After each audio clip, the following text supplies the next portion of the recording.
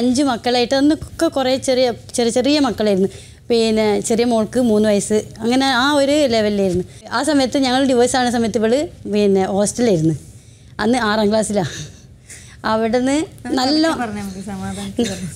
നല്ല പഠിക്കുന്ന കുട്ടിയായിരുന്നു ഇവളാനും അപ്പോൾ ഞങ്ങൾക്കാണെങ്കിൽ ഭയങ്കര ബുദ്ധിമുട്ടുള്ള സമയമായിരുന്നു. കാരണം ഒരു സ്വന്തമായിട്ടൊരു വീട് മാത്രമേ ഉള്ളായിരുന്നു. ആ വീട് ഇവർ ഈ അഞ്ച് മക്കളെ ഞാൻ എന്ത് ചെയ്യും? ഈ മക്കളെ എങ്ങനെ പഠിപ്പിക്കും? അങ്ങനെയൊന്നും എനിക്കറിയില്ല. ആ സമയത്ത് ആ വീട് വിറ്റിട്ടാണ് ബാക്കിയുള്ള കാര്യങ്ങളൊക്കെ ചെയ്തത്. പിന്നെ എനിക്ക് ചെറുപ്പം മുതലേ സിനിമനോട് ഭയങ്കര ഇഷ്ടമായിരുന്നു അപ്പോൾ എന്റെ മനസ്സിൽ എനിക്ക് ചെറുപ്പത്തിൽ സിനിമയിലൊക്കെ അഭിനയിക്കാൻ ഭയങ്കര ആഗ്രഹമായിരുന്നു. പക്ഷേ ഇന്ന സിനിമയിൽ എടുക്കുമോ ഏ ഇതിനെന്താ ചെയ്യേണ്ടി? അതിൽ ക്വാളിഫിക്കേഷൻ ഉണ്ടോ? അങ്ങനെ അങ്ങനെയൊക്കെ ചിന്തിച്ച് ചിന്തിച്ചിട്ട് എന്റെ ആഗ്രഹങ്ങൾ ഇതാ മനസ്സിൽ വെച്ച്. പിന്നെ എന്റെ കല്യാണമൊക്കെ കഴിഞ്ഞ് ചെറു വളരെ ചെറുപ്പത്തിലാണ് കല്യാണം കഴിഞ്ഞത്. അപ്പോൾ അതുകൊണ്ട് തന്നെ എന്റെ മനസ്സിൽ എന്റെ മോൾ ഈ ഫീൽഡിൽ എത്തണം എന്നുള്ള ഒരു ആഗ്രഹം ഉണ്ടായിരുന്നു. അപ്പോൾ അന്ന് പത്രം നല്ലോണം വാങ്ങും വീട്ടിൽ പത്രം ഇടായിരുന്നു അങ്ങനെ ഓരോ പത്ര കട്ടിങ്ങിലും ഓരോ സിനിമേന്റെ പരസ്യങ്ങൾ കാണുമ്പോൾ അത് കട്ട് ചെയ്തിട്ട് ആ നമ്പറിൽ പിന്നെ ഫോൺ നമ്പറിലേക്ക് വിളിച്ച് കുറേ സ്ഥലത്ത് നിന്ന് ഞങ്ങൾ പറ്റിച്ചിട്ടൊക്കെ ഉണ്ട്. അപ്പോൾ ഒരു ഇരുന്നൂറ് റുപ്യ ഫീസ് ആ ഇരുന്നൂറ് റുപ്യ കൊടുത്തിട്ട് വരെ പിന്നെ ഇരുപത്തിനാല് കുട്ടികളുണ്ട്. അതിൽ മെയിനായിട്ട് അൻസിബനാണ്. അപ്പോൾ മോളെ അടിപൊളി ഫിലിമാണ് ഇതൊക്കെ. അപ്പോൾ നമ്മൾ കാണുന്നത് എന്താ അറിയോ? അപ്പോൾ ഓരോരാളെ വിളിക്കുമ്പോൾ ഇവർ താഴത്ത് ഇല്ല ഇത് വെച്ചിട്ടുണ്ടാവും. ബെല്ല്. അപ്പോൾ നമുക്ക് ഫോണായിട്ട് തോന്നണം. ആ അത് ഓക്കെ ആക്കിക്കണ്. ഇത്ര പൈസ കൊടുത്തു. ആ അതൊക്കെ ശരിയാക്കി. കൂടെ വന്നു ഒരുപാട് നല്ല കാര്യങ്ങളും വിഷമങ്ങളും ഒരുപാട് ചെറുപ്പത്തിൽ അനുഭവിച്ചു. അതൊന്നും പറയാൻ വയ്യ അത്രയ്ക്കൊന്നും. പിന്നെ ഇവനെയൊക്കെ വാലിന്ന് വളർത്തി വലുത്തി ഒരു മൂന്ന് വയസ്സാകുമ്പോൾ തന്നെ ഇവന് സിനിമയൊക്കെ ഞങ്ങൾ കാണാൻ പോകുമ്പോൾ അവൻ സിനിമ തിയേറ്റർ വിജയന്റെ സിനിമയൊക്കെ കാണുമ്പോൾ അവിടെ കിടന്ന് ഡാൻസ് കളിക്കും ആൾക്കാരുടെ ഇടയിൽ. ഭയങ്കര ഇഷ്ടമാണ്. ഇവന് ഡാൻസ് അപ്പോഴേ ചെറുതായിട്ട് അറിയാം നമുക്ക്.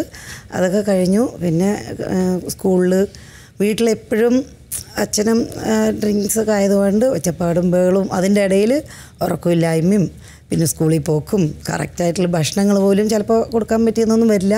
പിന്നെ സ്കൂളിൽ കൊണ്ടുപോയി കൊടുക്കും. വാങ്ങിച്ചിട്ടൊക്കെ അത്രയ്ക്കും ഭയങ്കര വിഷമത്തിനിടയിൽ എനിക്കത് പറയാൻ കിട്ടുന്നില്ല പറയായിരുന്നു വയ്യ. അങ്ങനെ വളർന്നവൻ ഒരു എന്താ പറയുക ടെൻത്ത് ഒക്കെ എത്തുമ്പോഴേക്കും ആളിങ്ങനെയൊന്നുമല്ല മുടിയൊന്നും ഇല്ലാതെ ഒരു എണ്ണയൊക്കെ തേച്ച് പാവം പയ്യനാണ്. ഒരാ അതിന്റെ മുമ്പിൽ വന്ന് നിൽക്കുകയും കൂടി ചെയ്യില്ല. പിന്നെ അച്ചാച്ചന്റെ വീട്ടിൽ വിട്ടിട്ടുണ്ടായിരുന്നു. അവിടെ ഇരുന്ന് പഠിച്ചു. അപ്പോൾ തന്നെ അവന് എന്തൊക്കെ അവിടെ അനുഭവങ്ങളൊന്നും എനിക്കറിയില്ല. തിരിച്ചു വരുമ്പോൾ തന്നെ കുറച്ച് ഭയങ്കര പാവമായിട്ട് എങ്ങനെയപ്പോൾ നമുക്ക് അവനെ ഇങ്ങനെ ഒരാളല്ല വേറൊരു കുട്ടിയായിരുന്നു. പോവാൻ പോകാൻ പക്ഷെ നമുക്ക് അതിനുള്ള ഒരു സാമ്പത്തികമൊന്നുമില്ല അപ്പോഴും ഞാൻ പറഞ്ഞു എന്ത് വേണം ചെയ്തോ. കയറിക്കോ മോനെ എന്റെ മോന് പറ്റും പറ്റും. എന്റെ അടുത്ത് എപ്പോഴും പറയും. അങ്ങനെ അവൻ അതിലേക്ക് ട്രൈ ചെയ്തു. അതിൽ കിട്ടിയാലും അവന് നമുക്ക് മുന്നോട്ട് പോകാനുള്ള ക്യാഷൊന്നുമില്ല പകുതിയാകുമ്പോഴേക്കും അതും ഔട്ടായി അത് നമ്മുടെ അടുത്ത് ഇല്ലാത്തതുകൊണ്ടായിരിക്കും അതങ്ങനെ ആയത്. അപ്പോൾ അവിടെ നിന്ന് അവനൊരു വിഷമം പറഞ്ഞു ഞാനിപ്പോൾ ഇവിടെ നിന്ന് ഔട്ടായി പോയാൽ എന്റെ അമ്മ ഭയങ്കരമായിട്ട് വിഷമിക്കുക എനിക്ക് ഔട്ടായാലും സങ്കടമില്ല എന്റെ അമ്മയോടൊന്ന് പറയും എന്ന് ചോദിച്ചു. അവിടെ നിന്ന് തുടങ്ങി. പിന്നെ അവിടെ നിന്ന് മുന്നോട്ട് നല്ല രീതിയിൽ തന്നെ നമ്മൾ കുടുംബം കൊണ്ടുപോയി. സന്തോഷമായിരുന്നു. പാട്ട് ഡാൻസ് എന്ത് പറഞ്ഞാലും അപ്പം തന്നെ ക്യാച്ച് ചെയ്യുന്ന ഒരു മൈൻഡുള്ള അത് പറയാൻ വിട്ടു കേട്ടോ നമുക്കൊന്നും സാധിക്കാത്തൊരു നിലയിൽ നിന്നാണ് എന്റെ മോൻ ഇത്രത്തോളം എത്തിയത്. എനിക്കതിൽ നല്ല സന്തോഷം. എന്റെ സമാധാനം മുഴുവൻ ഇവനാണ്. ഇവനല്ല എന്റെ മൂന്ന് മക്കളും.